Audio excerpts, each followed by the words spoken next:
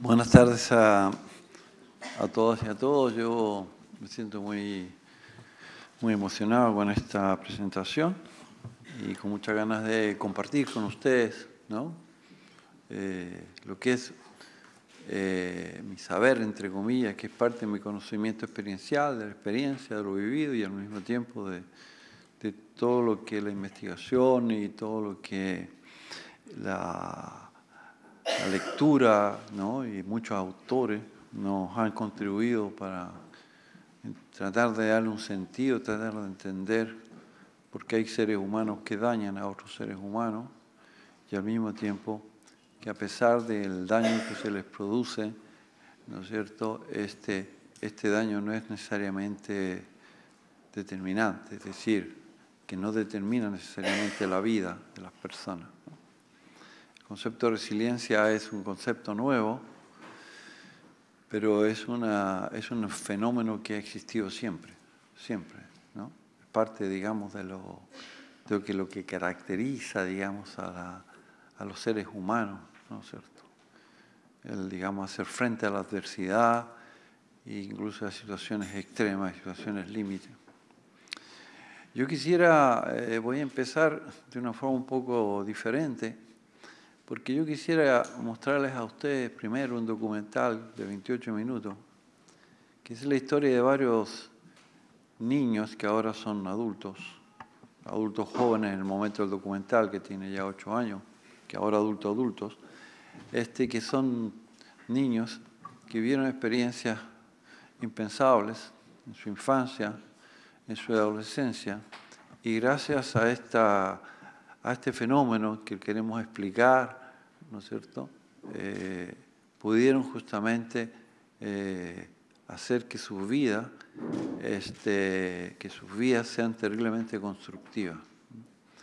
Entonces, darle la palabra a ellos y presentarlos a ustedes, porque son personas muy queridas por nosotros, son parte de, del horror de 220 jóvenes o niños y niñas que hemos acompañado, claro, Usted dirá, y este señor, como habrá acompañado tantos jóvenes, sí, porque ya tengo una determinada edad, pues si uno no tiene edad, ¿no? Este, también se puede decir, bueno, tiene una casuística enorme, pero la casuística tiene que ver también que, que tengo más de 30 años de profesión como terapeuta y también porque mi quehacer terapéutico, mi opción de ser terapeuta, de ser psiquiatra, neuropsiquiatra, después de formarme como psiquiatra infantil, como terapeuta familiar, como psicoterapeuta, como terapeuta, tiene, tiene que ver con mi propia historia, ¿no? Tiene que ver con esta historia de reparar o de contribuir a la reparación del daño, resultado de mi propia historia, ¿no? Eh, quizás si no lo hubiese vivido esa historia yo no, no sería quien soy, quizás sería un pediatra seguramente muy muy, como se llama, dedicado a mi profesión, que es lo que me, la especialidad que me gustaba, pero, pero la vida me hizo que me dedicara a este tema, porque claro, una forma de, resistir, digamos, al daño, a la cobardía, ¿no? de todas estas personas que en mi país, utilizando un poder ilimitado, le hicieron daño a mucha gente, mucha, mucha gente. Lo más terrible, que, que, lo, que lo que trabajamos nosotros en Chile en este momento, desde hace varios años, nuestra ONG en Chile, es que ellos torturaron a 3.000 niños. 3.000 niños fueron torturados durante la dictadura, este, de la dictadura militar. ¿no? Entonces, ese es un fenómeno terriblemente, es una atrocidad que no tiene. ¿no? Y entonces es por eso que nos no hemos dedicado ¿no? de corazón, pero con rigor también profesional y científico, encontrar los mejores modelos para la reparación del daño como una forma también de, resistencia, de resistencia, ¿no es cierto?, para contrarrestar lo que ellos intentaron hacer, destruir, destruir a una parte importante de mi pueblo, como en otros países también lo intentaron hacer, pero no lo lograron. O sea, en eso entre ustedes y nosotros podemos establecer puentes, ¿no? Porque estamos aquí en España y estamos en el País Vasco y podemos establecer establecer puentes, ¿no es cierto?, experienciales, ¿no? Seguramente en la historia de vida de muchos de ustedes, de muchos de ustedes hay una experiencia traumática, ¿no es cierto?, en sus historias familiares, ¿no? Experiencia, experiencias traumáticas, pero que el hecho de que ustedes estén aquí siendo primera, segunda, tercera generación, hace que a pesar de, ¿no es cierto?, no, no, no, no, no nos determinaron nuestras existencias, ¿no? no nos determinaron, no hicieron, no hicieron de nosotros lo que ellos querían que fuéramos, ¿no? y eso es el fenómeno de la resiliencia, ¿no? eso es el fenómeno de la resiliencia. Lo único que ahora está estudiado, ¿no? está estudiado ¿no? cuáles son los factores que la promueven y la facilitan. Entonces vamos a comenzar con el documental, porque es una clase, especie de clase magistral que hacen afectados por trauma desde muy niños y tienen uno, tener una forma, es un documental que no tenía escenario, sino que fue con preguntas abiertas y la forma en que esto, todos estos muchachos fueron muchachos que tuvieron, eh, que conocieron, digamos, lo que nosotros llamamos la traumaterapia, que es una forma especializada de trabajar para reparar las heridas de los traumas y promover resiliencia, ¿no es cierto? tuvieron un tiempo diferente y entraron al programa en, edades diferentes, pero realmente yo creo que es, es, lo que mejor les puedo regalar y presentarles ese documental. Así que podemos presentarlo y después yo voy a hacer una pequeña exposición y después hacemos un diálogo. ¿sí? Bueno. Después vamos a poder intercambiar o si ustedes quieren decir algo ahora para desahogarse o para, no sé, yo, para... Lo podemos hacer, pero eh, yo, este documental es, realmente una forma de, de, ¿cómo se llama?, de contar la historia de, no solamente de la personas traumatizadas, digamos, siendo niños y niñas. Cada una de estas niñas, este, estos jóvenes han vivido cosas que son impensables. Se dieron cuenta de que no, no relatan el contenido, pero se pueden imaginar. Y tampoco, digamos, tienen una actitud de, de denuncia o vengativa en relación a las personas que le hicieron daño, ¿no? Y eso es, digamos, eh, muy, muy esperanzador, ¿no? La resiliencia es, eh, un fenómeno que tiene que ver mucho con el realismo, porque el, sufrimiento, el daño real, que le hicieron a estos chiquillos y a muchos más de los que hemos conocido y muchos, yo en mi campo de trabajo con víctimas de tortura o con afectados por la guerra violencia machista o violencia de género, eh, las experiencias son muchas veces impensables. Pero por eso es que a partir de, esa constatación, eh, tener esta, este, este, mensaje tan, tan vital, tan, es muy esperanzador. Por eso dice que la resiliencia es un fenómeno en el cual se mezcla por un lado el realismo del daño, del dolor, del sufrimiento, y la esperanza que es posible. Y eso es lo que vamos a tratar de explicar, ¿no es cierto? Gracias a, los conocimientos actuales, ¿no es cierto?, que le dan un sentido a este fenómeno. Hay conocimiento, hay investigación, hay muchos aportes que son eh, que quiero compartir con usted, pero los voy a compartir tratando, digamos, ser lo más sintético posible. Tengo muy mala fama porque soy muy hablador ¿Ah?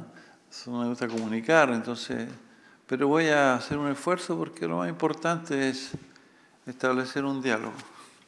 Generalmente me saco el reloj para autocontrolarme, pero muchas veces ni lo miro, así que no, no me sirve mucho, pero bueno, tendré que tener un, de esos que se usan en la cocina, ¿no? que suenan, que se usa mucho en terapia también sesiones de terapia, cuando trabajamos con niños, siempre hay un, un pollito o algo que, que pilla cuando, cuando vamos a este. Entonces la idea sería la resiliencia y el crecimiento postraumático, ¿ah?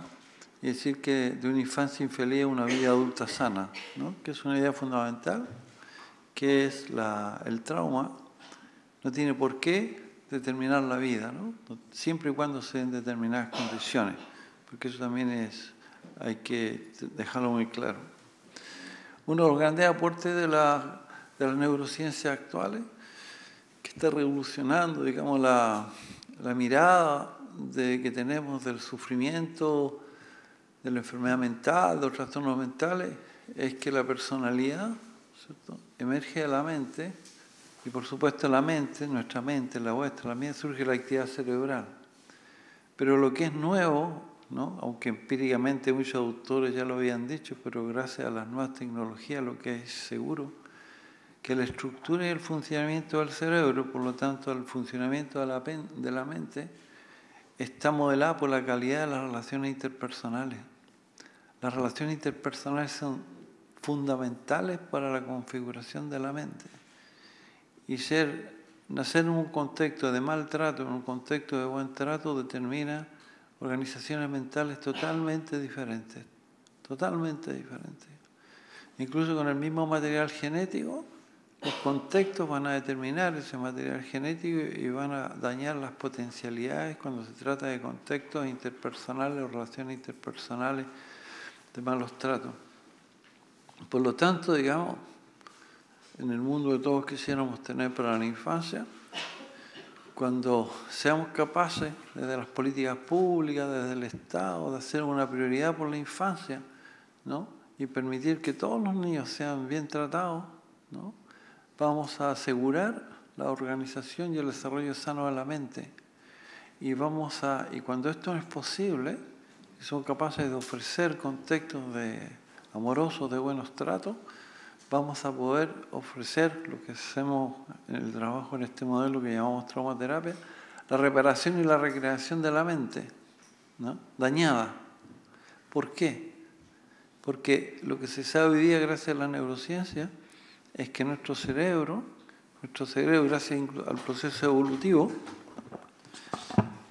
gracias, gracias al proceso evolutivo, nuestro, nuestro cerebro tiene una gran plasticidad, una gran plasticidad, es decir, es muy influenciable, ¿no es cierto? Es muy influenciable y, es muy modificable, ¿no es cierto? Y además tiene es, eh, una gran capacidad de autoorganización cerebral es adicto al, buen trato del cerebro, es adicto, el cerebro le encanta, ¿no es cierto? Este, el cerebro de los bebés le encanta mucho los contextos de, buenos tratos. ustedes se han dado cuenta, ustedes son papá, mamá, abuelos, se han dado cuenta que los niños bien tratados son niños súper simpáticos, digamos, son agradables, son entretenidos, ¿no es cierto? Son bonitos, son hermosos. Bueno, a veces cuando tienen algún, algún cólico a las 4 de la mañana no es tan, tanto así, pero, pero en general es así. En cambio los niños, o los niños, los bebés que viven en contextos familiares y sociales donde hay estrés, ¿no es cierto? Donde hay conflicto, donde les gritan, donde les pegan desde muy pequeñitos, les sacuden, etc.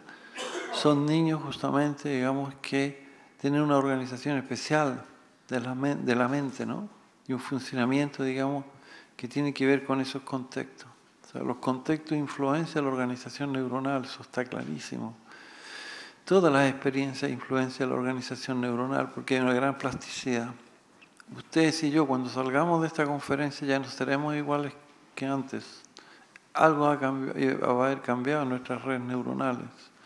Si tuviéramos aquí un aparato una resonancia magnética funcional, un aparato que, de las nuevas tecnologías que estuviera registrando, digamos, el funcionamiento neuronal en este momento, y después cuando saliéramos aquí veríamos que hay cambios interesantísimos que se producen tanto por haber visto este documental como por lo que estamos diciendo.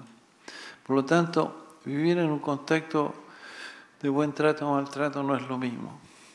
Y lo que es interesante es que hoy día los contextos de malos tratos a la infancia se asocian, ¿no?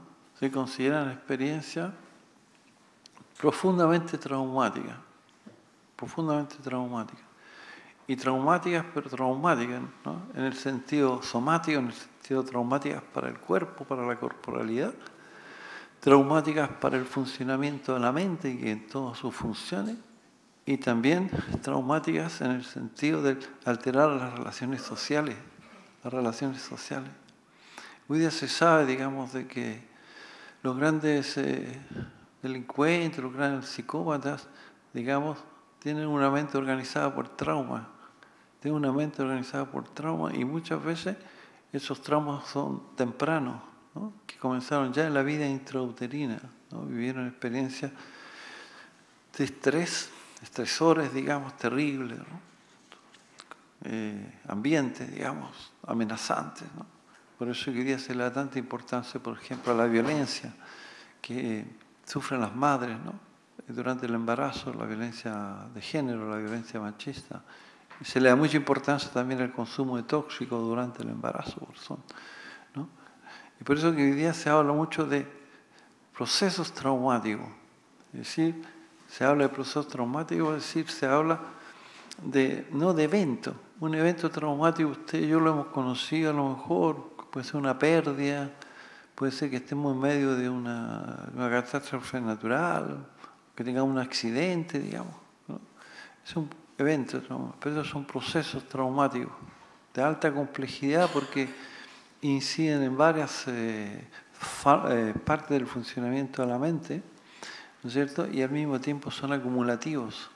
Son acumulativos, se acumulan en el tiempo. O sea, el, organismo no logra, no logra, digamos, movilizar sus recursos naturales para hacer frente al dolor, al sufrimiento y al estrés cuando ya existe otra experiencia que, que cae encima, otra experiencia traumática.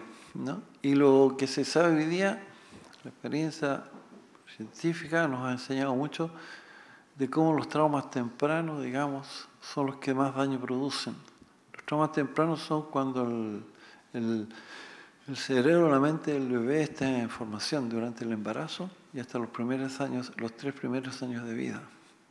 Si nosotros quisiéramos tener, y eso hay elementos científicos, o sea, no esto es, no es un discurso así ingenuo, que hay mucha investigación, si nosotros quisiéramos tener una humanidad sin violencia, una humanidad, digamos, donde los problemas psicopatológicos, los consumos de tóxicos, etcétera, disminuyeran, ¿no es cierto? Uno de los ejes fundamentales tendría que ser hacer todo lo posible para proporcionar contexto de buenos tratos entre durante el embarazo y hasta los tres primeros años de vida porque ese es el periodo fundamental para la, constitución y la organización de las redes neuronales que van a, que van a dar, eh, permitir el funcionamiento de la mente. Hay, mucho, hay mucha experiencia, esto siempre lo mostramos para mostrar que el desarrollo de la mente tiene mucho que ver con la estimulación, con, pero la estimulación afectiva, amorosa, ¿no? Y que, por ejemplo, esto, que los niños no nacen con todas sus, los bebitos no nacen con todas sus funciones desarrolladas, sino que gracias a la estimulación, como uno ve aquí, ¿no es cierto? Gracias a estimulación, ustedes lo están viendo, este, gracias a esta madre, por ejemplo, puede ser un padre también, porque también vemos hombres buenos, ¿eh? que nos dedicamos a la crianza de nuestros hijos y nos gusta, ¿no es cierto?, tomarles en brazos, eh, darles de mamar, claro, no le podemos dar de mamar, ¿me entienden ustedes? pero le podemos dar un buen un biberón con mucho afecto, mucho cariño. ¿no? Es esta estimulación la que produce la migración neuronal, la, que las neuronas se relacionen entre ellas a través de las sinapsis y se comienzan a desarrollar las funciones que emergen ¿no? de una forma maravillosa. Un bebé cuando nace comunica su necesidad a través del llanto, pero gracias a la estimulación posteriormente el chillido, ¿no es cierto?, se va modulando, se va modulando y aparece, ¿no es cierto?, la estimulación motora y a los, a los, eh, a los 12 meses aparece ya, hay neuronas suficientes en la corteza cerebral que le permiten entender lo que dicen, lo que uno dice. Así que con cuidado, ¿ah? con cuidado normal de, la, de los suegros, de la suegra, si tienen un bebito a los 12 años porque tiene el lenguaje comprensivo, ¿no? ¿No? Eh, y a los 18 meses ya hay lenguaje, lenguaje expresivo, ¿no es cierto? Empiezan a distinguir las primeras palabras, porque toda esta estimulación afectiva y estimulación, digamos, este justamente permite el desarrollo, entre otras cosas, del área de Broca que coordina, coordina, digamos, la emergencia de este fenómeno maravilloso que es típicamente humano, que es la capacidad de hablar.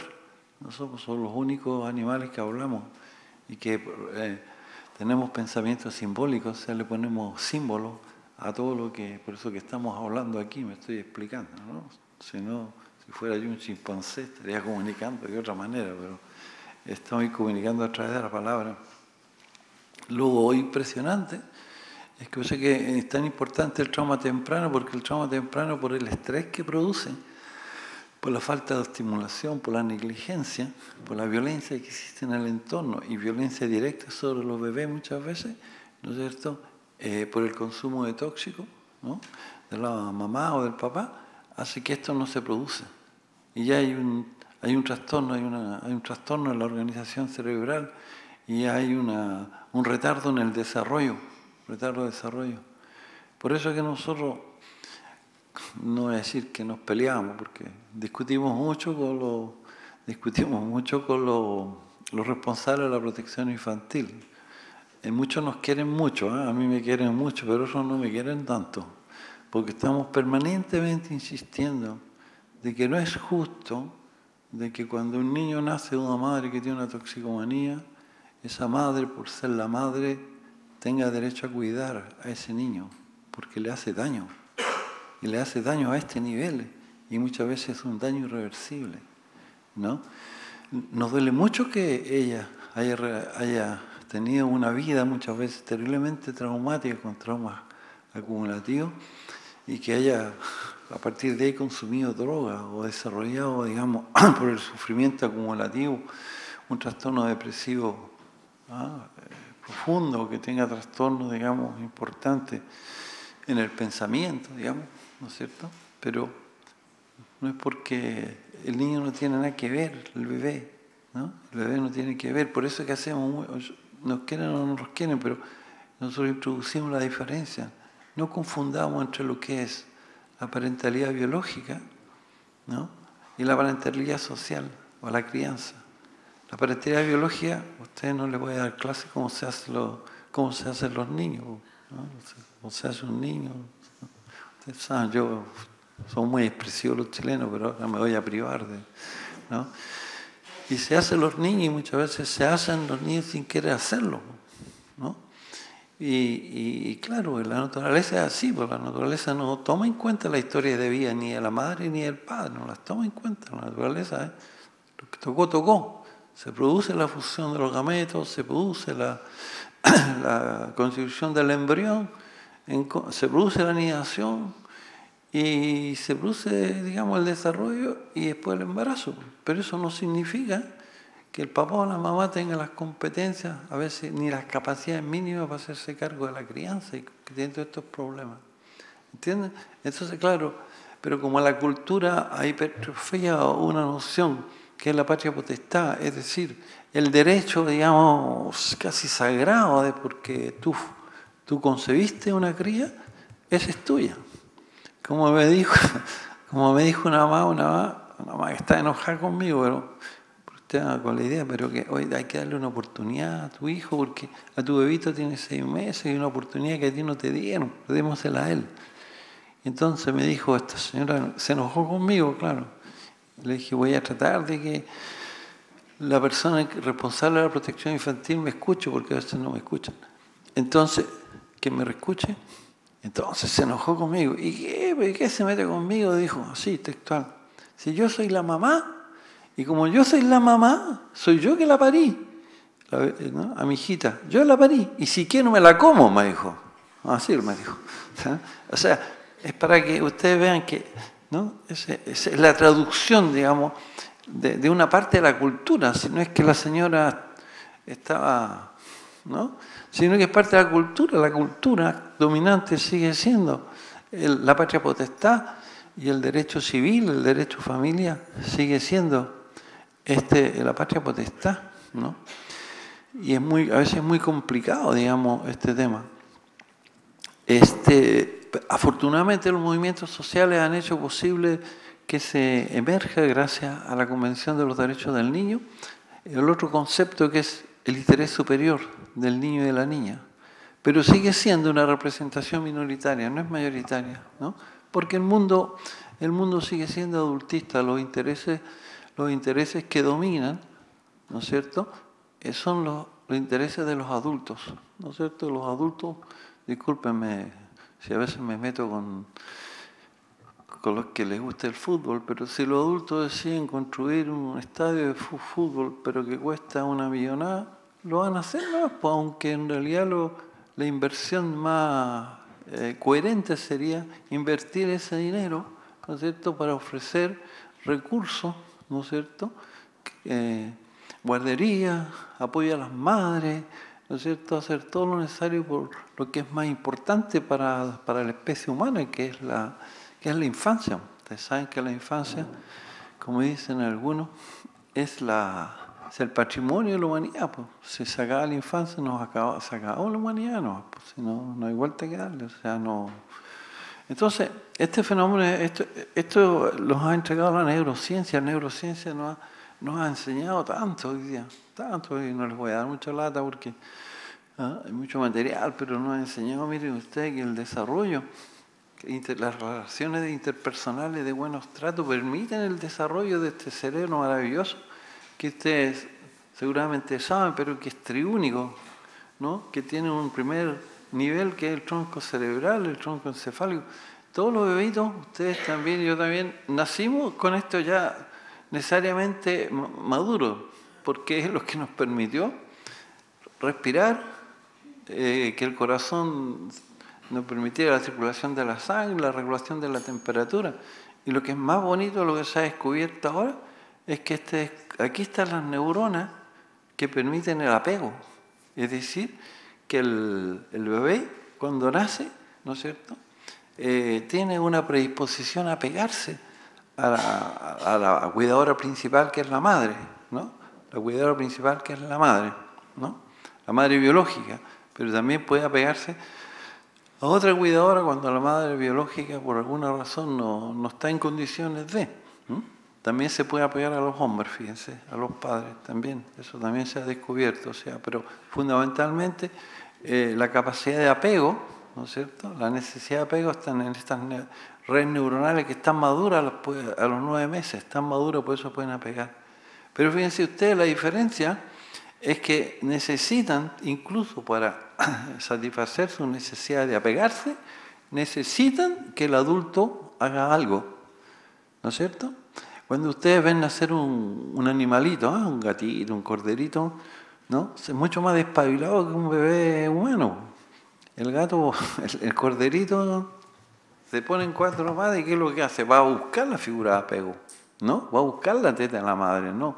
¿No? no es no conozco ningún bebé, a lo mejor ustedes conozcan, conocen algún despabilado, a lo mejor algún nieto de ustedes le salió ¿ah? tan despabilado, vamos, que ¿ah? salió con la capacidad así. Ah, no, realmente hay que llevarlo, hay que ponerlo en contacto con, ¿no? si no, no, si no, no, no se produce esa diferencia. Y al mismo tiempo se necesita de que la mamá y ahí, ahí empiezan los problemas, ahí comienza el trauma temprano, que la mamá tenga una predisposición, ¿no es cierto?, a, justamente a responder a estas necesidades de apego, ¿no? Si la madre, digamos, si la mamá está en un contexto, digamos, de pobreza, marginalidad, de consumo de tóxicos, de miedo porque tiene un marido que le pega, ¿no? Eh, la respuesta, ¿no? La, capacidad biológica es responder a las necesidades de apego, porque hay una secreción de una hormona que es muy importante. ¿Conocen el nombre ustedes? Sí, ¿ah? la oxitocina. ¿ah? La oxitocina es el gran descubrimiento también de, la, este último, estos últimos años, descubrir que las mujeres, los hombres también, pero sobre todo las mujeres producen una hormona que se llama oxitocina, que es la que predispone, ¿no es cierto?, que es la que explica esa predisposición a responder a la necesidad de apego de sus crías. Pero la, oxitocina es terriblemente, digamos, este, vulnerable a, las experiencias traumáticas de la historia de vida de las madres. Se, han, ha hecho mucha investigación madres que han tenido experiencias de maltrato, que han sido abusadas sexualmente, tienen menos tasa de oxitocina y tienen menos predisposición a un acogimiento, digamos, saludable de sus crías. Mire que es doloroso eso, ¿no? Y por lo tanto las crías, digamos, ya comienzan a pagar, digamos, las consecuencias del daño que le hicieron a sus mamás. Eh, ustedes deben haber quedado muy impresionados seguramente en los diferentes casos. Ahí el, los voy a utilizar para hacerlo más dinámico. La Emi, la rubia, la Emi de la película, es una mujer maravillosa, es una chica maravillosa. ¿Cómo explicar a una niña que fue, comenzó a ser abusada a los seis años y fue abusada sexualmente hasta los 16 cuando se escapa a la casa gracias a la solidaridad de una vecina, ¿no? Que le ayuda a escaparse por la ventana de un padre psicopático seguramente, que era una además, era un tipo que tenía una red de, era un, ¿cómo llamamos? Un proxeneta. Yo iba a decir un cabrón, pero bueno, por eso que yo estaba tratando de buscar la palabra para no ser tan grosero, digamos, ¿no? ¿Eh? Más elegante decir proxeneta. Era proxeneta de su propia madre, de la madre de la Emi, ¿no? Proxeneta de la madre la Emi.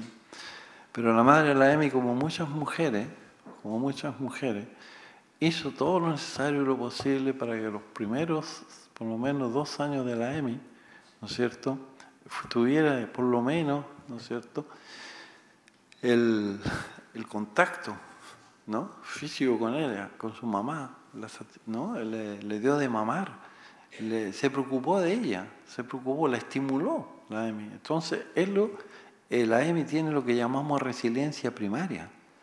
Eso es lo que llamamos resiliencia primaria, es decir, esa capacidad justamente que tiene la EMI, ¿no es cierto?, de, haber resistido hasta los 16 años, ¿no es cierto?, una situación terrible, el padre la violaba y la madrastra, porque la madre se escapó, porque el padre además era violento, le pegaba y la madre se escapó en la época que no había una ley de protección de las mujeres la madre se escapó y bueno, y se quedaron con, este hombre y la abuela, la madre de este hombre que también era una, iba a decir la palabra mala, una señora proxeneta, iba a decir, una cabrona, pero bueno.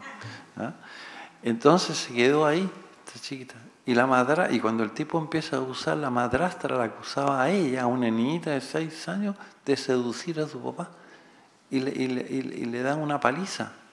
Entonces, una niña que durante más de 10 años este, vivió un, infierno, ¿no? un infierno, y logró escaparse. Pero no solamente logró escaparse, cuando tenía 8 años de, reveló en la escuela. Pero desgraciadamente para ella, ¿no? fue víctima de lo que nosotros llamamos ahora el síndrome de la estupidez humana. No, es que no, es un síndrome. ¿eh? Yo en la entrevista que me hicieron en el diario Vasco, yo hablo al final. ¿no? Búsquenlo en el internet. O sea, el síndrome de estupidez humana, un señor, te pilló.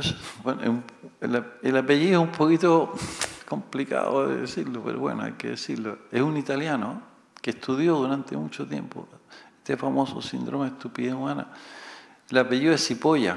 Bueno, por eso que decía yo que ¿eh? pero Cipolla con C, Cipolla.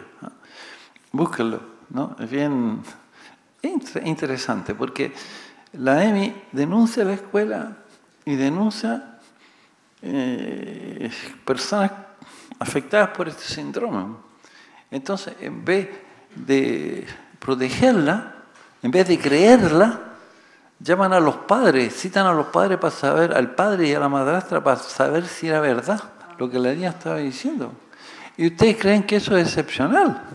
No es tan excepcional, porque el síndrome de estupidez humana está por ahí. Lean ese artículo, lean ese libro, ese artículo, se van les va a ayudar a ustedes a entender. ¿no?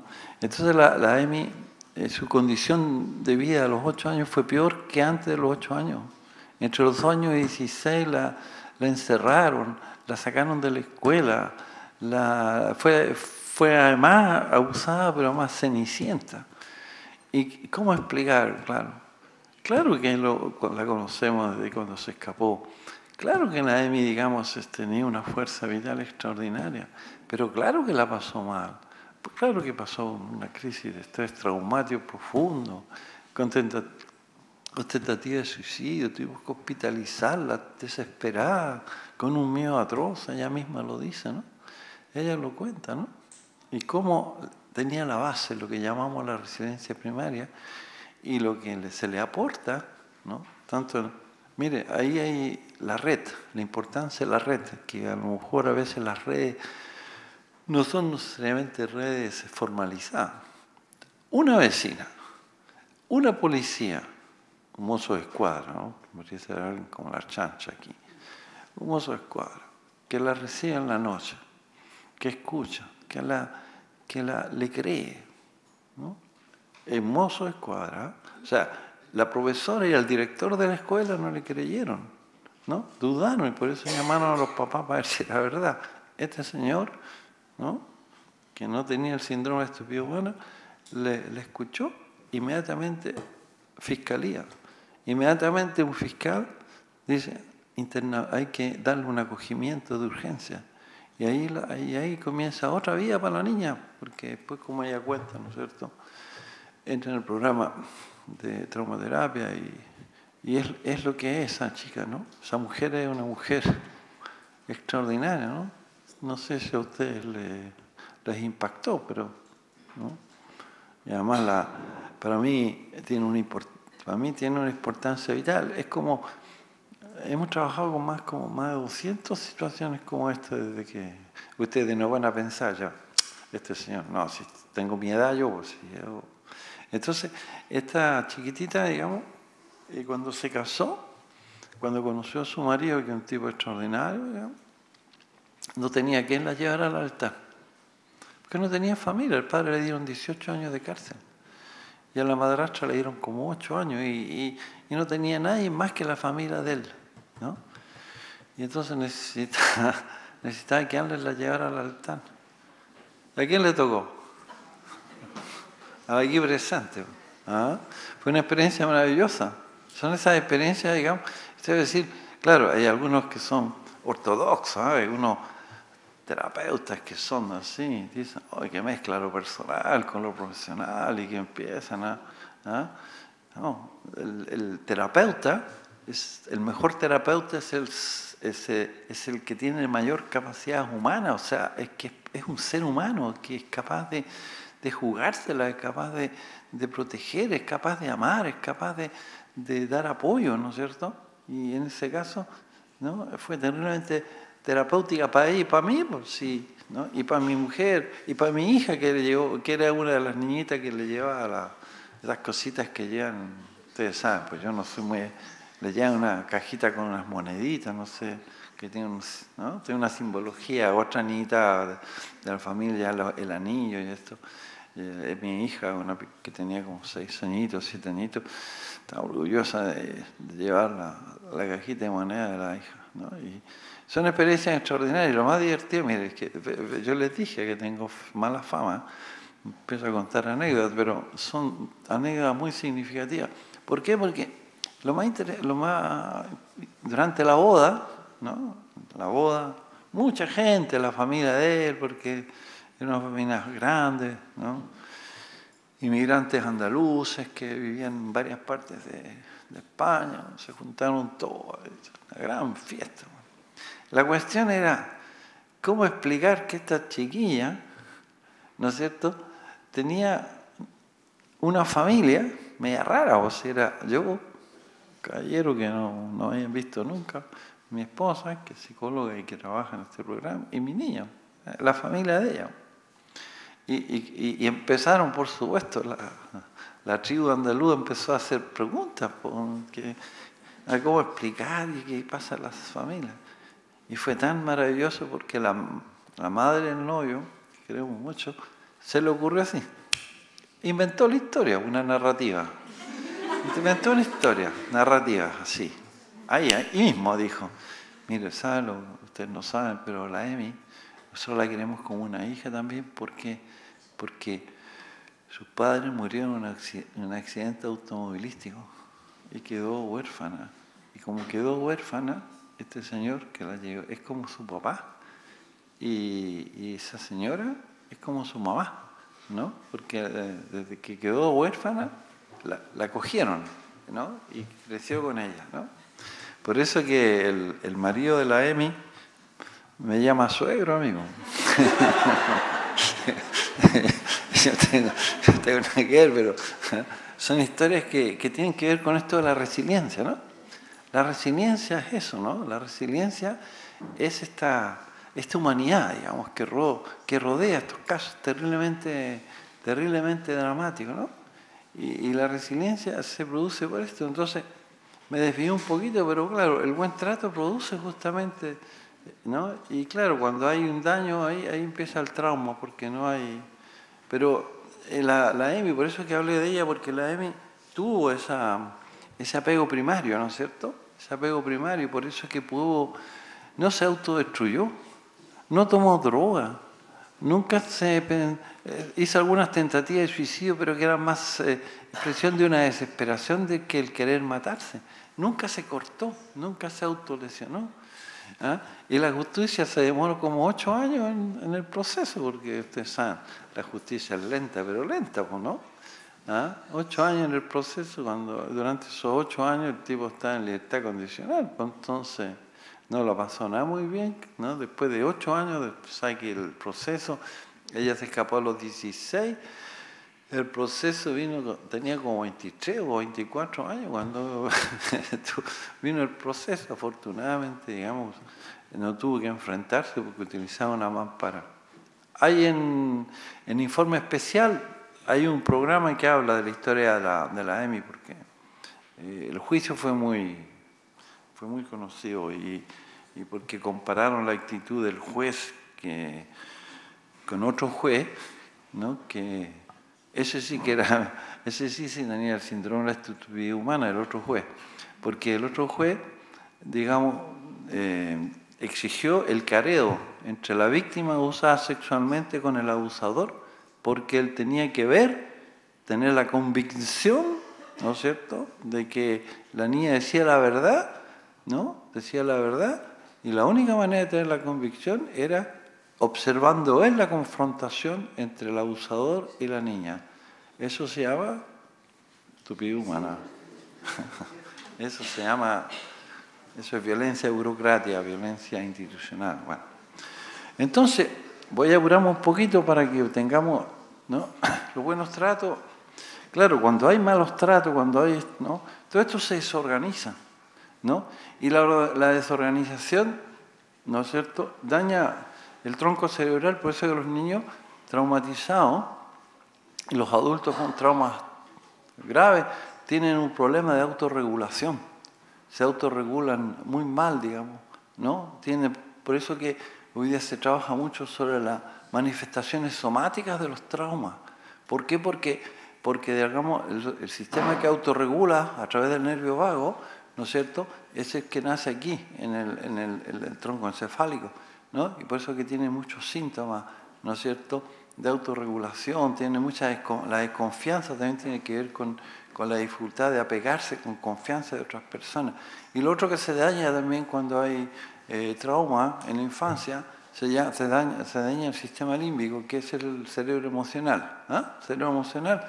Y hay dos partes que se dañan mucho, que es la amígdala, que es la, que modula las emociones que tienen que ver con la autodefensa, ¿no? Se dañan, se, se, como se, se hipersensibilizan, ¿no es cierto? Y por eso es que muchos niños traumatizados tienen problemas conductuales, tienen, son agresivos, son violentos, tienen problemas conductuales. ¿Por qué? Porque de alguna manera, como les han afectado desde chiquititos, desde muy pequeños, o están siendo afectados por violencia exógena, la amígdala se hipersensibiliza y por el miedo a la violencia reacciona violentamente, ¿no? Por eso hay problemas conductuales problemas conductuales, tienen miedo, tienen mal manejo de las emociones y tienen una tendencia a, ¿cómo se llama?, a, deprimirse, o sea, a perder, digamos, la, la, alegría de vivir, ¿no?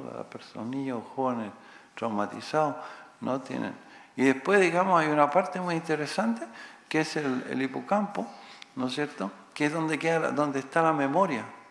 Usted a lo mejor no sabe, pero es interesante como conocimiento, por lo entrega la neurociencia, es que hoy día se sabe que hay dos tipos de memoria, hay varios tipos, pero dos memorias importantes. La memoria implícita, ¿no es cierto? Que es la memoria de las sensaciones, de las emociones, y la memoria explícita, que es la memoria de los recuerdos. La memoria explícita, si yo le pregunto a usted a partir de qué edad tiene un recuerdo de la infancia, ¿no es? Como tenemos poco tiempo, me voy a contestar yo mismo, porque si no... ¿ah? Eh, a partir de los tres añitos, ¿no es cierto? Tres, cuatro añitos, tienen recuerdos, dos, algunos de ustedes seguramente, excepcionalmente, tienen algunos recuerdos antes de los dos años, ¿no? Pero no se sabe muy bien si son recuerdos o son historias que le contaron. Entonces, pero lo que se sabe hoy día es que la memoria, eh, la memoria explícita, que es la memoria cognitiva que está en la corteza cerebral, aparece más o menos a partir de los tres o los cuatro años. Pero eso no significa que no haya memoria. La memoria existe desde a partir, hoy día se sabe, a partir del segundo mes de embarazo. Todo lo que uno siente, todo lo que el bebé siente al interior del útero y todo lo que siente los tres primeros años de edad, eh, todo queda registrado en la memoria. Y esta memoria es la que hace que uno tenga buen rollo o que tenga mal rollo. Si tiene una memoria, digamos, donde ha habido dolor, donde ha habido agresiones, donde ha habido miedo, etc., eso está en, la memoria implícita, es una memoria, es una memoria sensorial, emocional, implícita, y entonces, por lo tanto, son niños difíciles, ¿no? Son niños difíciles, niños timoratos, niños con dificultad, porque tienen un, han tenido experiencia, les ha pasado algo. No va a costar mucho cambiar eso, ¿eh? ¿no creen que no? Va a costar mucho que un niño que tiene problemas es porque le ha pasado algo o le han hecho algo. ¿No? Eso es un cambio, pero fundamental. Aunque hay tantos elementos científicos, el sentido común, eh, entre comillas, es generalmente tienden a pensar que el niño se porta mal, que el niño es, es malo. No, el niño no tiene ninguna razón para portarse mal. ¿no?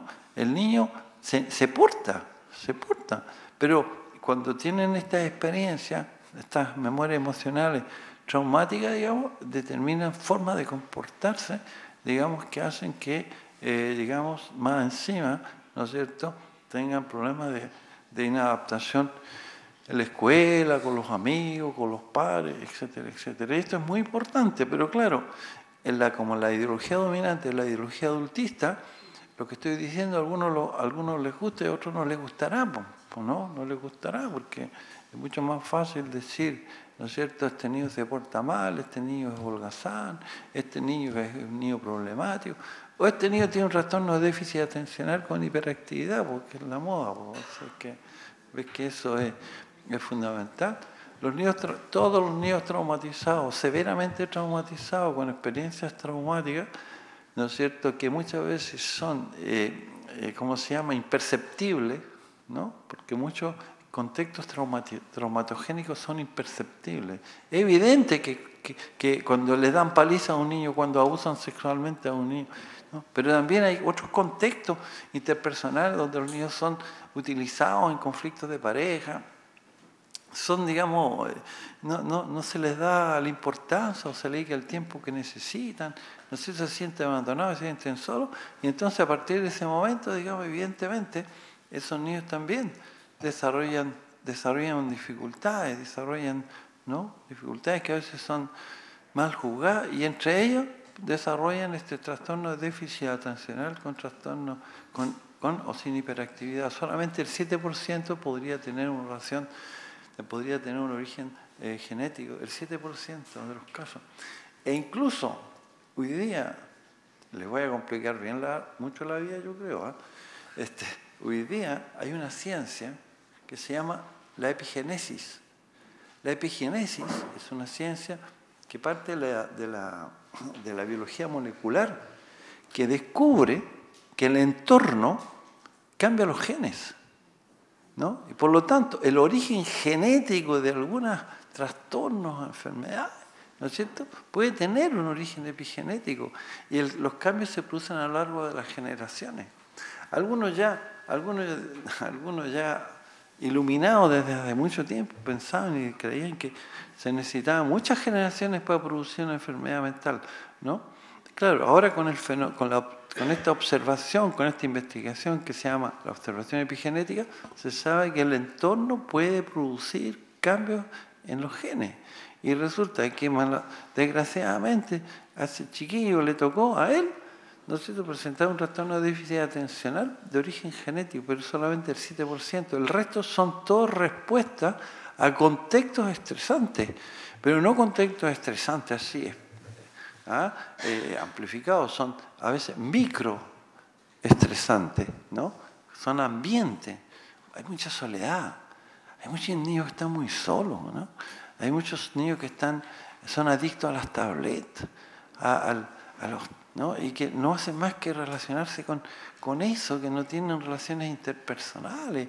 Y, bueno, y en el mundo en que vivimos, digamos, no, estoy haciendo ningún juicio de valor de nadie, porque yo también soy papá, yo tengo una de 12, que bueno, una, es una de mis tareas, digamos, de la, mi, mi esposa también, ¿no es cierto?, de poder modular el, uso de la tableta modulársela, o sea, y para que ella para que ella tenga la oportunidad de tener relación interpersonal, apagar la tele cuando estamos comiendo, para que conversemos, para que nos cuente lo que está haciendo en la escuela, para que le contemos lo que hacemos nosotros. Si no, digamos, ¿no es cierto?, saben más de lo que le cuentan en la tele que, que, la historia de sus propios papás. Eso es parte de la, del mundo que estamos construyendo. Pero ya, ya me salí el tema, me vuelvo a centrarme en la resiliencia todo esto, ¿no? Entonces, claro, entonces, ahora lo que es interesante, digamos, es cómo los contextos de buenos tratos crean, eh, crean digamos, la, posibilidad de esta resiliencia primaria. Hay muchas, formas, hay muchas definiciones de resiliencia. Yo aquí no vamos, lo vamos a pasar rápido, ¿no es cierto? ¿No? Siempre se define como una capacidad, ¿no es cierto?, frente a la, hacer frente a la adversidad. Y lo, otro que se agrega, ¿no es cierto?, es que eh, se, incluyen experiencias traumáticas, ¿no es cierto?, en el cual la superación permite también salir fortalecido y, transformado, pese a las circunstancias eh, desfavorables. ¿no? Es como que el, eh, es como que de alguna manera haber vivido lo que se vivió te da una experiencia, un conocimiento experiencial que si de alguna manera, digamos, está bien acompañado, también, digamos, contenido te puede servir de experiencia, ¿no? Te hace más empático, te hace, digamos, este, no digo que hay que ser buen terapeuta, digamos, de paciente torturado haber sido torturado, no estoy diciendo estupideces de esas, no, ¿no? Pero de alguna manera son experiencias que, de alguna manera, si hay contención, apoyo, te dan una fuente de, conocimiento y de experiencia que otras situaciones no te dan, ¿no? Pero claro, como yo defiendo, nosotros defendemos el, el riesgo de recuperación del concepto de resiliencia, de esta capacidad, es, es la resiliencia es una producción social. Emerge, digamos, gracias a este, lo que podríamos llamar el valor terapéutico de la afectividad y la solidaridad interpersonal y social los niños maltratados que están aislados, que nadie se ocupa de ellos, que no conocen a ningún adulto que, que se compadece de ellos, que están en un aislamiento social, no desarrollan nunca resiliencia. ¿no? La resiliencia es producto de una relación interpersonal que tiene determinadas características. ¿no? Por eso que hay muchas definiciones. ¿no? Yo también, por ejemplo, defiendo que la resiliencia es una cría del amor y del, y del, y del efecto terapéutico de la solidaridad. Y uno se conmueve con un niño que, que, está triste, que está depresivo, que tiene trastornos conductuales, ¿no es cierto? Se conmueve y trata de ayudarlo, ¿no? Se habla mucho de resiliencia familiar también, porque a veces las familias se tienen que reestructurar y reorganizar para ayudar a uno de sus miembros, que, ¿no es cierto?, que de alguna manera, digamos, este, le, le cayó algo le pasó algo o le hicieron algo. Entonces se habla ahora mucho de resiliencia familiar. Y esta es la definición que hacemos nosotros entre resiliencia primaria, resistencia resiliente y la resiliencia secundaria. Y se lo explico esto y después ya podemos empezar a, comunicar. ¿no? Bueno, la resiliencia primaria, esta tiene que ver con los buenos tratos, eso ya se los expliqué, ¿no es cierto? O sea, ¿no? Son los cuidados básicos, los de la primera infancia que hace que... Eh, es la que, que es del niño, el niño bien cuidado, la niña bien estimulada, ¿no es cierto? Educada, pero en el sentido no del no en el sentido de que se porte bien, la educación es que aprenda a respetarse a sí mismo y a respetar a los demás, ¿no es cierto? Que sea bien socializado, o sea, que sea parte de una historia, de una narrativa familiar, que participe de esa narrativa familiar, ¿no es cierto? Y estos son niños que viven en entornos de buenos tratos, ¿no? Y en una familia extensa. Yo en la entrevista que me hicieron en una de las radios, yo decía que yo, que yo soy un chileno, pero con mi corazón también está aquí en el País Vasco, porque yo hace tiempo que, que tuve como 14 o 15 años trabajando como consultor para la Diputación de, de Guipúzcoa. Yo les tengo mucho cariño al pueblo vasco. ¿Por qué? Porque veo que es como una comunidad resiliente. ¿No? La, usted, la comunidad vasca tiene, tiene todavía, digamos, la familia, los caseríos, tiene, tiene mucha vida social, hay, hay mucho, los días viernes se encuentra la gente, y eso es muy interesante desde el punto de vista, digamos, de lo que estamos, eh, ¿no? y los niños viven en estos entornos, los niños tienen esta, estas posibilidades, digamos, ¿no?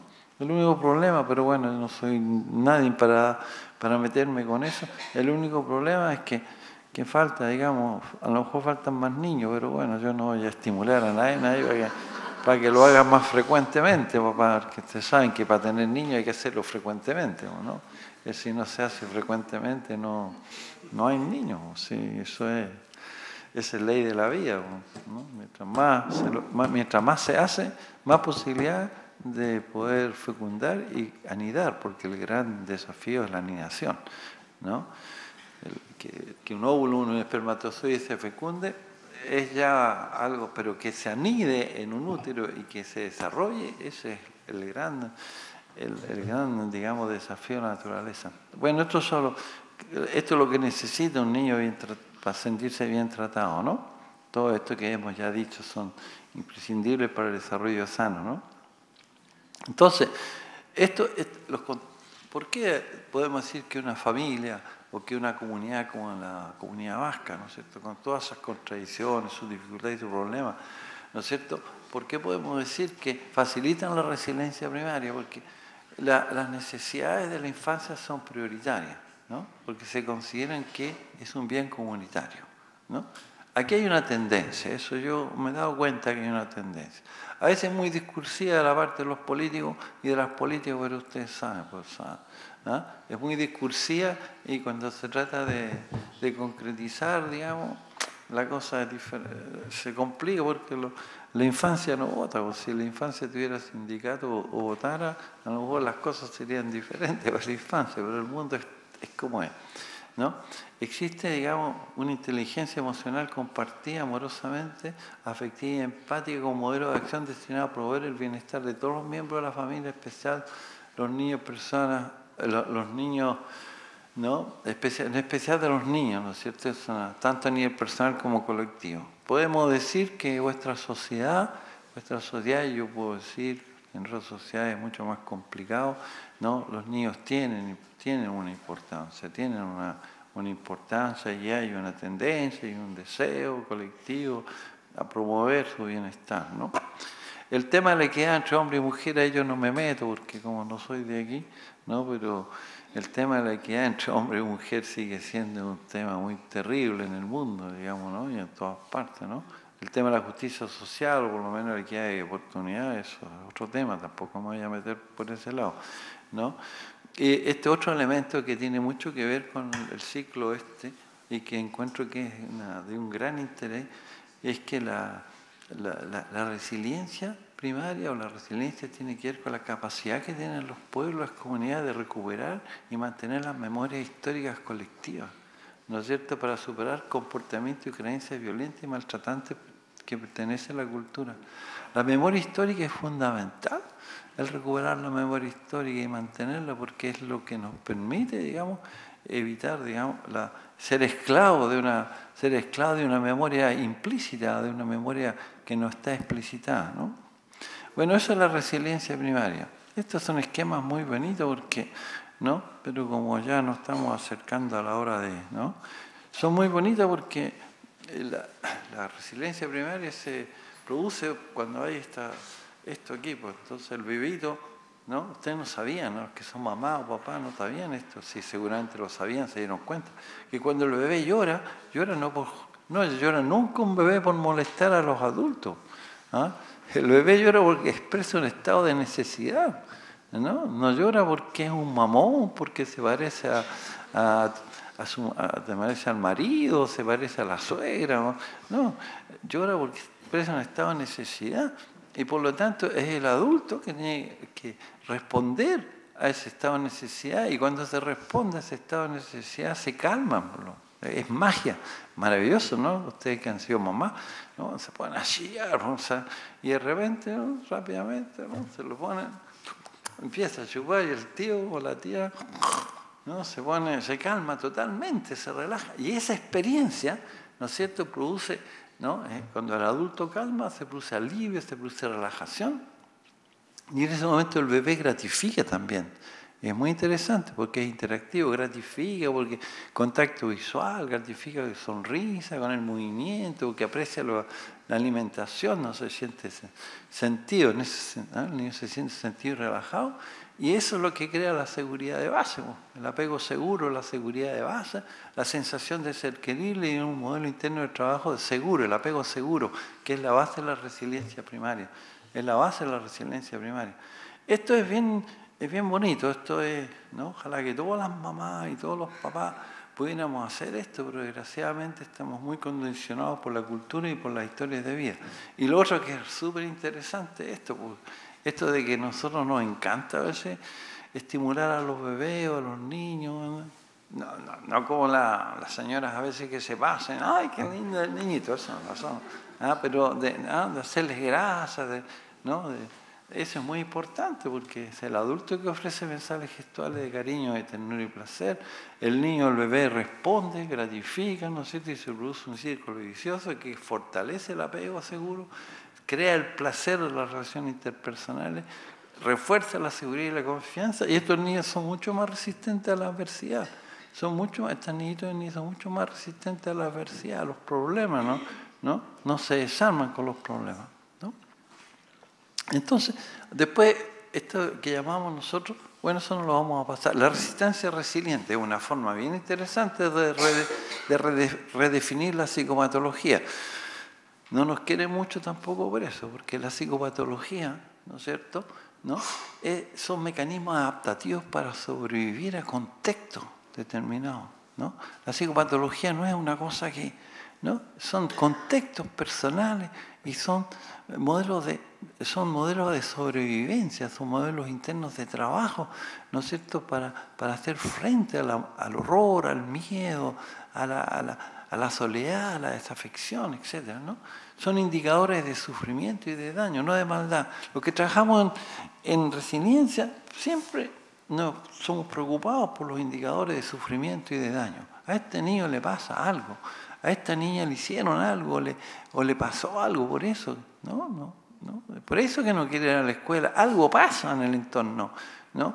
Los niños les gusta ir a la escuela en general, pero cuando no les gusta uno tiene que preguntarse qué está pasando. Ay, disculpen que se me quedó prendido Bueno, entonces, ahora evidentemente, evidentemente, este, es la gran crítica que nosotros hacemos, por eso que tampoco a veces nos quedan, es que los modelos reductores patográficos atribuyen la causa de los trastornos a las víctimas infantiles. ¿No? Le echan la culpa, pues el niño tiene un trastorno de déficit atencional, como si el enfermo... ¿no? Entonces hay niños que lo, lo toman como una identidad, pues. es una forma de resistir, pero los entornos de estrés en los que viven lo hacen que estén así, pero alerta, digamos, y no es que no, no, es que no tengan un déficit atencional, es que prestan demasiada atención porque están siempre alerta, digamos, ¿no? Porque puede, el, digamos, lo que les va a hacer daño o les va a, aparecer en cualquier momento, digamos, y son hiperactivos también como los patitos de la feria.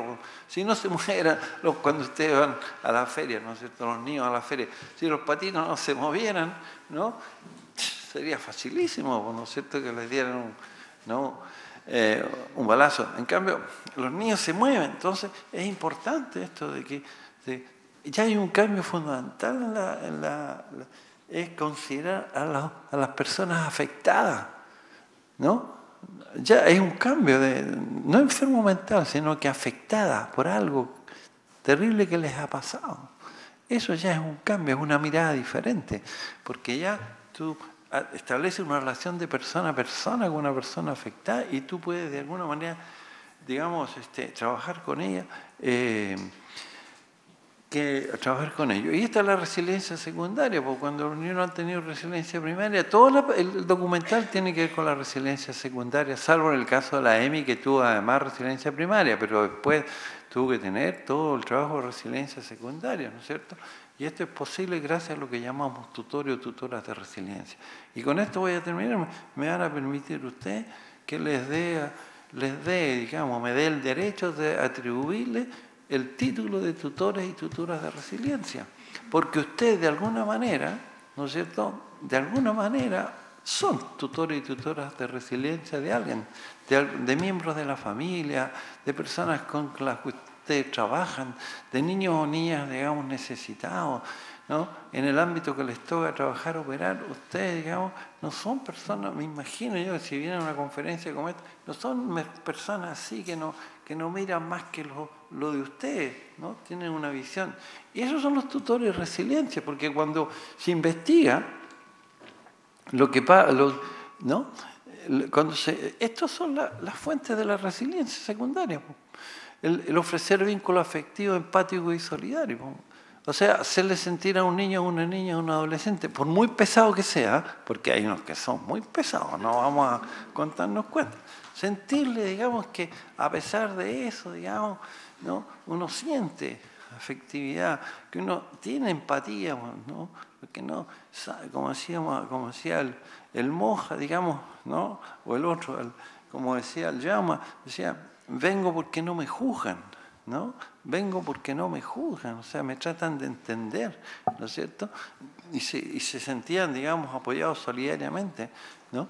Y después ayudarles a encontrar un sentido sobre a la toma de conciencia de las causas y las consecuencias de lo que le pasó.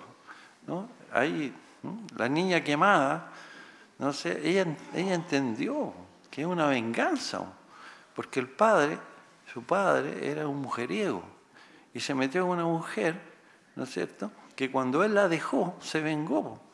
Me lo vas a pagar, le dijo, y pagó, pagó a unos malvados para que le tiraran benzina y le prendieran fuego. Y tenía, una, tenía el 60% del cuerpo quemado esa niña. ¿no? Y esa niña, digamos, es, una maravilla, digamos, la, la, como la Telma, es una maravilla de resiliencia, porque se reconstruyó y una maravilla también de los tutores de resiliencia, que fueron los médicos, digamos, del hospital, de un hospital de Barcelona, de la, que le, le reconstruyeron su cuerpo herido. ¿no? Eh, lo otro que es importante es eh, todas las acciones educativas para promover valores de justicia, solidaridad, honestidad, equidad entre sexo y respeto a los derechos humanos. Eso también promueve resiliencia. Estimular el entretenimiento, todos los espacios lúdicos, el placer, el buen humor, ¿no? Y todas las intervenciones que podemos hacer, ya sea médicos, terapeutas, judiciales, educativas, vecinales, digamos, ¿no? para aliviar el sufrimiento y reparar el daño. Y eso es eh, la resiliencia, digamos, y también nosotros somos también los profesionales que trabajamos en esto, somos, tenemos que desarrollar nuestras propias resiliencias ¿no? a través de la solidaridad de otros colegas o también de, la, de, de otras personas en nuestro círculo familiar. Y eso es lo que yo quería compartir con ustedes, pues digamos, en esta conferencia un poquito acelerada, porque nos queda como 15 minutos nomás para que intercambiemos. Me dijeron que era dos horas.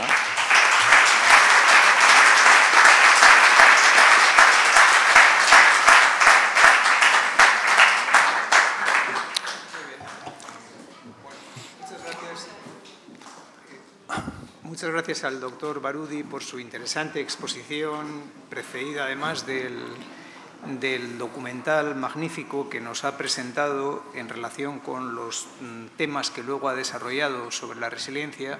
Y ahora, según su deseo, pues vamos a proceder, tenemos eh, unos minutos para poder dialogar con él y que le puedan plantear pues, las dudas o comentarios que consideren oportuno en relación con su presentación. Así que abrimos el turno de preguntas.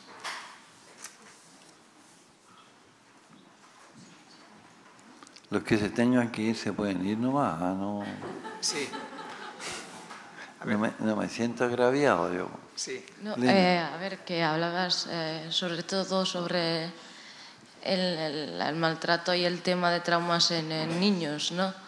Pero cuando una llega a la edad adulta sigue siendo parte de eso, aunque ya lo hayas reconocido, lo hayas aceptado, hayas perdonado, hayas visto las razones, sigues teniendo esa parte contigo y ya vemos muchas personas que, que este, este camino lo afrontamos solos, que tenemos la suerte de tener buenos amigos y, y buena gente alrededor, pero que no tienes exactamente un grupo de apoyo con respecto a eso que es tan complicado de, explicar o de llevar.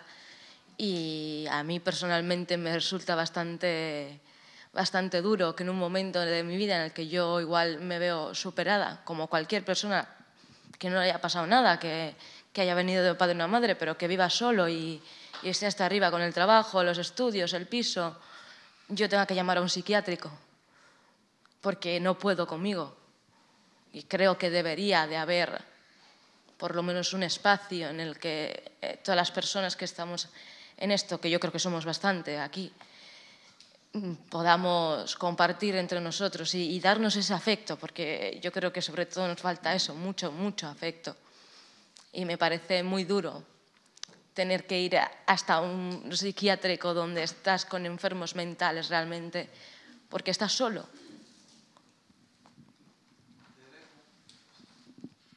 Te agradezco mucho tu intervención, porque me permite insistir en los recursos naturales que tienen los seres humanos para, para apoyarse mutuamente. No pierdas nunca la esperanza, siempre podrás encontrar a alguien que te, que te va a echar una mano. ¿no? Y tampoco focalices mucho en los psiquiatras. Yo soy psiquiatra, así que tengo derecho a hablar mal de los psiquiatras. Este, claro, la psiquiatría, digamos, tiene una deuda con, con la humanidad porque si bien es cierto ha avanzado bastante, ¿no es cierto? Este, se ha quedado muy corta, se ha quedado muy corta, digamos, porque ha ido perdiendo, digamos, este elemento fundamental, que lo principal de lo terapéutico es la relación interpersonal, ¿no? Y entonces se han, como se llama, se han obnubilado, digamos, por los descubrimientos de psicofarmacológico, por la psicofarmacología, donde hay detrás mucho, muchos intereses económicos, muchos intereses financieros. ¿no? Y por eso es que me encanta que lo hayas dicho tú. Y que lo hayas dicho que sí. Yo te, te digo, no pierdas la esperanza, trata de las redes naturales, las redes de amistad. ¿no? lo más traumático para las personas que hemos sido traumatizados es el estar solos ¿no? Eso es lo más traumático, ¿no? Y bueno, y, digamos, trata de, sigue tratando de crear una red de amigos, de apoyo, ¿no es cierto? Antes de ir a, la psiquiatría. Eh, la psiquiatría, a lo mejor en un momento determinado, si estás desbordada por la ansiedad o por la depresión, ¿no? Hoy día, como la ciencia ha avanzado, hay psicofármacos, ¿no es cierto?, que tienen eh, una, producen un impacto interesante, ¿no? O sea, hoy día cuando se descubre que la serotonina, la serotonina es una hormona que, que tiene una capacidad justamente de poder, digamos, aumentar. Primero se descubre que la serotonina se agota cuando las personas viven situaciones de estrés acumulado, ¿no? Que desde que desde años y años han vivido en situaciones de estrés, las tasas de serotonina se bajan, ¿no? Y suben otras que son las del cortisol, que son las hormonas, que son las hormonas que tienen que ver con el estrés, ¿no? Entonces con la serotonina. Pero eh, cuando hay estos nuevos fármacos, ahora que hay muchos, ¿no es cierto? Que son los que son los inhibidores de la recaptación de la serotonina, que te producen, digamos, efectos muy, muy positivos porque te, porque te permiten subir tu propia serotonina. No te producen, no te meten una sustancia extraña a tu propio organismo, sino que te producen una subida de serotonina. Creo que hay que tener paciencia porque se demoran como 15 días en actuar y tienes que tomarlo durante seis meses, durante un año, pero hacen súper bien, ¿eh? hacen súper bien. ¿no? Claro, la industria farmacéutica ¿ah? ha ido... Yo me quedé con cuatro nomás, pues yo no, como psiquiatra, yo no utilizo más que la, a mis amigas nomás, porque me vengan a, ofrecer otras moléculas que no sé qué, no, yo la paroxetina, bueno, todos hay unos nombres, ¿no? La sertralina, la paroxetina, la fluoxetina, y de vez en cuando me meto con el, el cipramil, de vez en cuando, ¿no? Y, con esa nunca he tenido problemas, ¿no? Y, mucha gente se siente favorecida, ¿no? Entonces, claro, no hay tan... Ahora, el mal uso, digamos, del creer que eso va a resolverlo todo, ese es un problema. Pero yo te sigo aconsejando, no pierdas la esperanza de que las relaciones interpersonales amistosas, ¿no? El, tener, el no quedarte sola, eso favorece y promueve tu resiliencia. Esto que viste esto aquí, ese es un grupo que son más o menos 180, 200 chiquillos que han sido ayudados en Barcelona, aquí en San Sebastián, ¿no es cierto? En varias, porque como he ido formando, eso han tenido un tratamiento más especializado, ¿no es cierto? Nuestra esperanza, nuestra contribución es formar el máximo de profesionales para que, para que, para que ofrezcan esto, pues, ¿ah? Para que ofrezcan esta metodología y en eso estamos. A ver. ¿Alguna otra cuestión? Y les prometo que voy a responder cortito.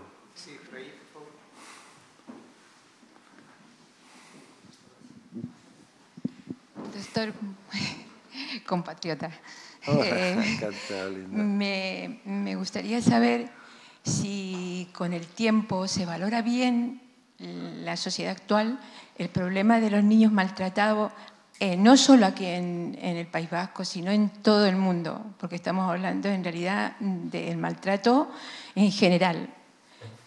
¿La sociedad está convencida, está actualizada con este problema? Mm. Bueno, me duele mucho y uno, uno tiene lo que llamamos nosotros una, una disociación constructiva, ¿no? Porque si nosotros pensáramos cada minuto la cantidad de niños que en el mundo mueren como consecuencia de la guerra, como consecuencia del hambre, como consecuencia de la pobreza, es verdad, digamos, que tendríamos una vida muy infeliz, ¿no? Afortunadamente nuestra mente tiene una capacidad de, disociarse, ¿no es cierto?, de, disociarte.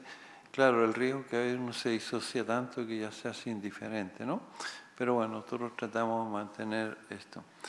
Boris Ilunik, que tengo la suerte de, contar con su amistad y con la posibilidad de trabajar con él, Boris Ilunik, que es un francés que ha trabajado mucho sobre resiliencia, él escribió en uno, en el una cosa muy dura, eh, una cosa muy, muy impactante en la, introducción de uno de nuestros libros. Dice, si los seres humanos no, cambiamos la situación actual de la infancia, el siglo, el gran eh, pecado o el gran horror del siglo XXI va a ser el infanticidio.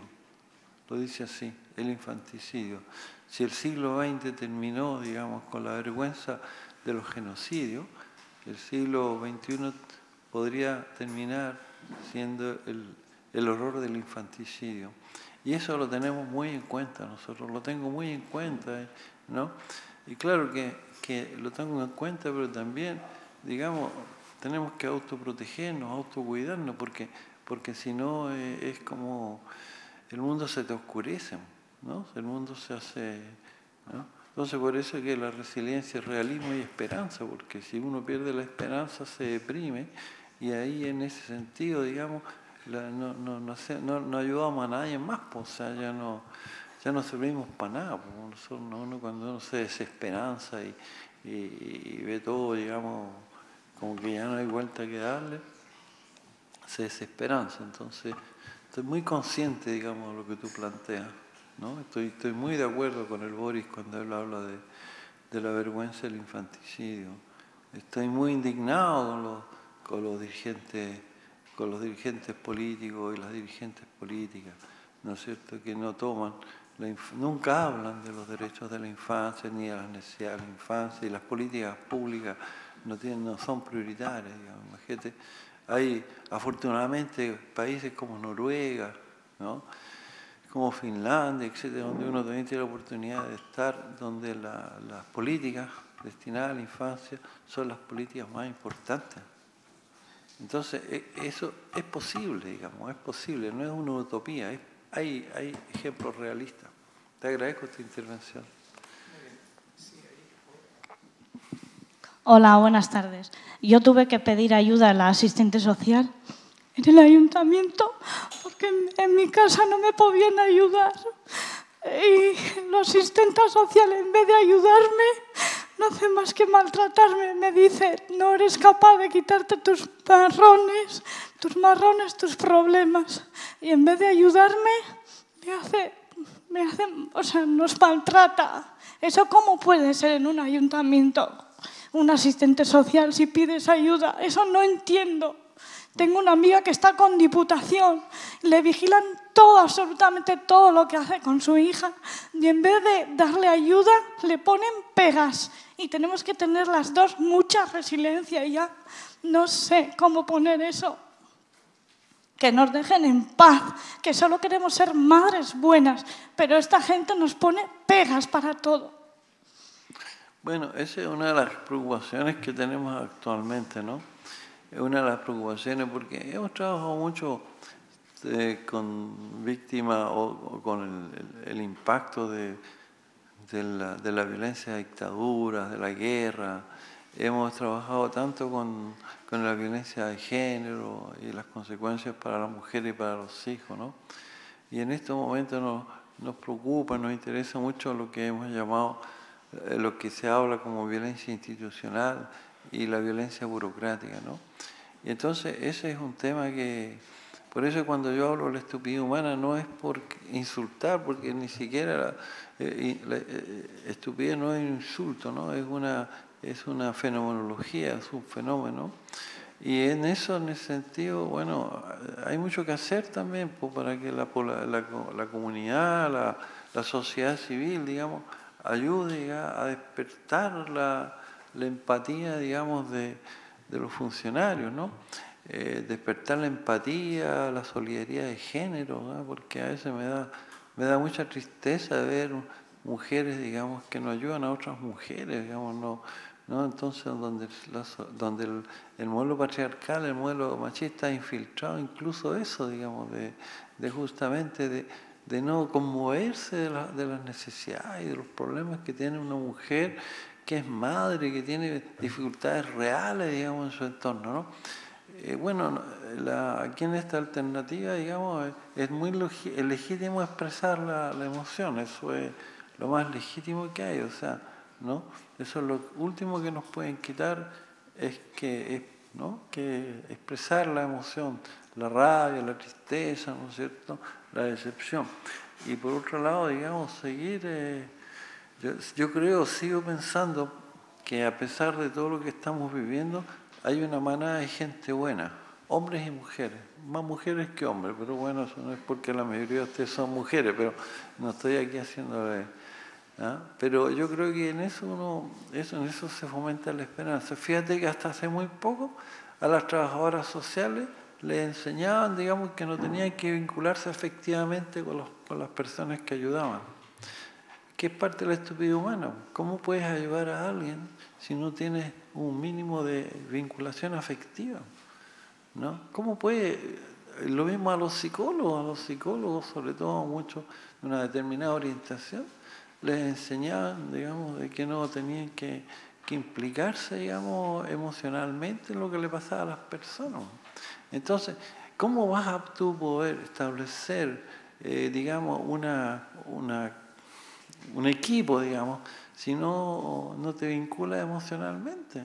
La resiliencia es afecto, la resiliencia emerge cuando tú te sientes sentida por uno, por otro, cuando tú te sientes que te quieren, cuando tú te sientes que tu vida les, le importa a alguien. Si no, no hay resiliencia, si no es, es de nuevo, es, es, como se llama, es, es podrir un concepto. Eh, ¿no? Entonces, tienes mucho, tienes todo el derecho a, seguir eh, buscando, ¿no es cierto?, la, trabajadora social o la profesional que, tenga esta capacidad de, hacer que te siente, de hacer que se... Como decían ellos, ¿ves? ¿te acuerdas lo, lo que decían los, muchachos? ¿No? ¿Cómo, cómo, ¿Cómo me van a ayudar si no, si no son capaces de, de meterse en mi piel? ¿Te acuerdas lo que decían? Y no lo dijo uno, ¿ah? lo dijeron por lo menos tres. ¿ah? Eso es, pero algo, es algo maravilloso, ¿no? Y lo que les ayudó a ellos fue eso, pues, sintieron que el otro se, metió en su piel, o sea, sintió con ellos y, de esa manera pudieron sacar, eh, pudieron salir adelante. Muy bien, bueno, tenemos tiempo para una última cuestión por el tiempo. Aquí hay una palabra. ¿Hay alguna persona más que quiera hacer alguna intervención? Digo, por concluir. Bueno, pues terminamos aquí, aquí, aquí en primera fila.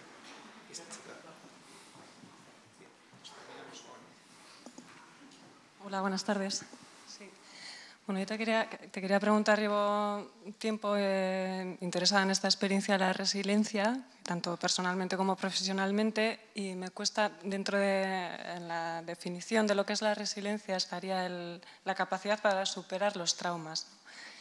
Y es algo que me cuesta todavía definir. Entonces, real, eh, me gustaría saber realmente qué es esto, de cómo se, en qué se traduce esto de eh, la capacidad de superar un trauma Yo, en, en, algo, en, una señal concreta y clara, ¿no? Porque eh, sí, y sinceramente no, porque en, en estos testimonios que hemos visto a mí no me impresionan no me han impresionado porque al final lo que he visto especialmente en las chicas, que es, seguramente será una percepción subjetiva mía, ¿eh? que eh, como que se, conforman, me ha llamado la atención que se conforman pues, siendo muy jóvenes con tener, formar una familia y tener un trabajo. ¿no? Y sin embargo, en los, en los chicos Em, pues bueno, uno quería ser marinero, el otro directamente se privaba del deseo de ser millonario cuando muchos futbolistas, que a mí también me gusta el fútbol, proceden de entornos marginales, pobres y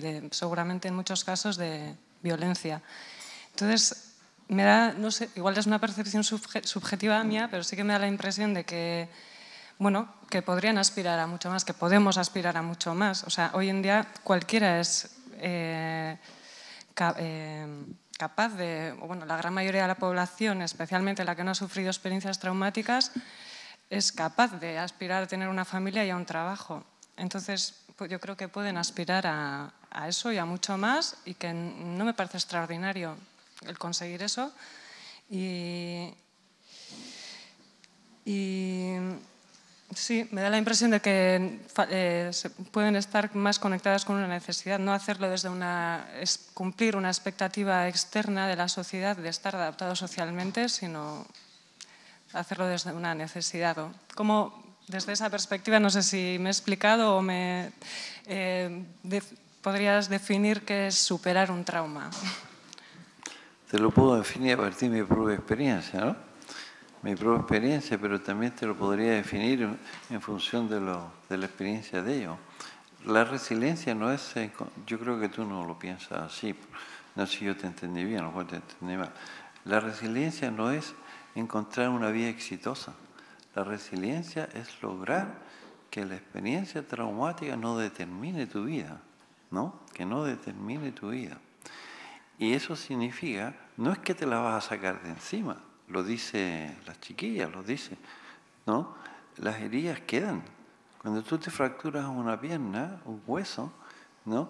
Por mucho que tú quieras, tú puedes, digamos, de alguna manera reparar la fractura, pero cuando baja la temperatura te va a doler la fractura, ¿no? Y entonces, pero resulta que a pesar de que tienes una pierna fracturada, tú no eres una minusvalía.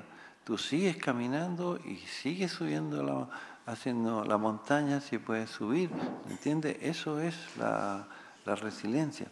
La resiliencia también tiene mucho que ver con este otro fenómeno, es que el trauma se supera cuando no, no te impide el bienestar, cuando no te impide, digamos, este, que no te bloquea, y cuando se transforma, no fui yo el que lo dice, aunque me lo atribuyen, ¿no? Eh, cuando se transforma en, un, en una parte de tu biografía, es lo que nosotros llamamos la reintegración resiliente. Los traumas no se, los traumas se superan cuando se, se integran como parte de tu biografía, ¿no? Y no te hacen, y no te determinan, ¿no? No te determinan. Y la, la resiliencia no es una cosa mágica, es un, es un trabajo casi permanente. ¿No? La resiliencia es un trabajo casi permanente para las personas como ellos, ¿no?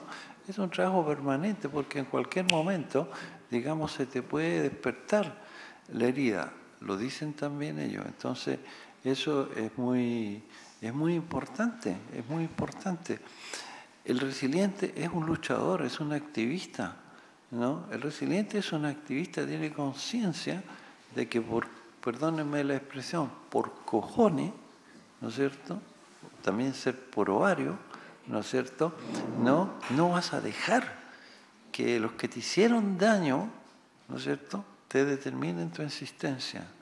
Y si en la mañana o en la noche tienes una crisis de ansiedad, o si en realidad, digamos, te sientes eh, deprimido, o si en realidad tienes un colon espástico, por, ¿ah? vas a hacer todo lo necesario y lo posible para tratar de de, ¿cómo se llama?, de aliviar ese sufrimiento y ese dolor para que eso no te, te dure dos, en vez de que te duren dos días, te dure una hora o dos horas porque vas a tomar la medicación, te vas a cuidar y vas a hacer lo necesario, digamos, para estar bien.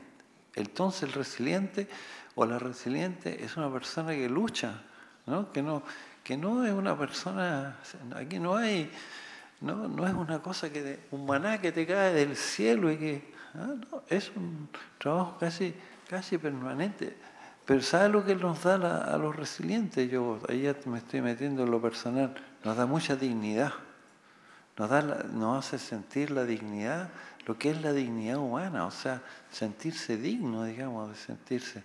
No, no, no nosotros no, no, no, nos gusta, no nos gusta, somos afectados, pero no víctimas somos afectados porque no nos gusta el victimismo. Somos afectados, pero ¿no? y por eso que también somos capaces, o son capaces ellos, de pedir ayuda cuando están eh, atorados. El, el, ¿cómo se llama? El Jauma. El Jauma es capitán de un barco. ¿Ah? El Jauma es capitán de un barco. Y el Jauma toda la vida quiso ser geólogo. Y, está, estudiando, está en tercer año de geología en la Universidad de Barcelona. ¿ya? Pero el Jauma, de vez en cuando, tiene unas, una unas crisis de, de ansiedad impresionantes. ¿Y qué es lo que hace el Jauma? Llama a su tutor de resiliencia, a su tutor de resiliencia, pues la llama por teléfono y dice, oye, estoy, perdóneme la expresión, estoy cagado. ¿ah? Ayúdenme porque me, necesito que me vean. ¿no? Y el tutor de resiliencia, el que se mete en esto, ¿no? le dice, Jauma, estoy complicado, pero te voy a hacer un ratito, ven a verme a tal hora y vamos. Y el Jauma recibe la ayuda y el apoyo. Eso es la resiliencia, ¿me entiendes? Es un proceso, es un, es eso, eso es la resiliencia. Y con eso quisiera terminar porque porque ustedes están cansados y hoy día...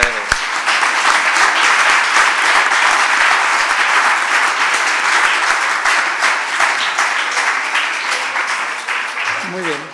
Bueno, eh, con estas respuestas mmm, vamos a concluir este acto. Bueno, debo dar las gracias a todos los asistentes, a quienes han dado también sus testimonios personales, eh, con lo dolorosos que realmente resultan, por supuesto, al doctor mm, eh, Barudi por su excelente intervención y por la riqueza eh, empática que ha creado en, este entorno.